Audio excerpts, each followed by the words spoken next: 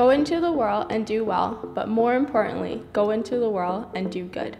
Hi, I'm 22 year old Kelsie Woodman Bodden, proud to be representing the Cayman Islands at Miss World 2018. The Cayman Islands is known for its warm, compassionate people. No other event truly displays this Cayman kindness than the wreck of the Ten Sails, a historic shipwreck that occurred on the 8th of February 1794.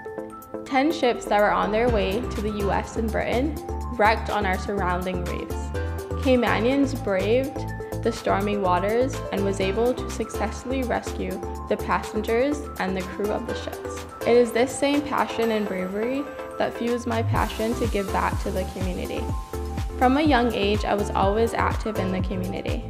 I have won many awards for my outstanding community service. However, no other reward is greater than seeing the smiles on the faces of people that I've helped. My entire life, I have been surrounded by strong women my grandmother, mother, and many women in the community.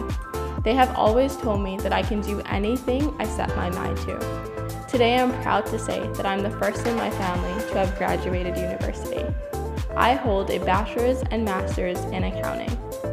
It is this same belief in me that I use my blog to mentor young girls to go into the finance industry.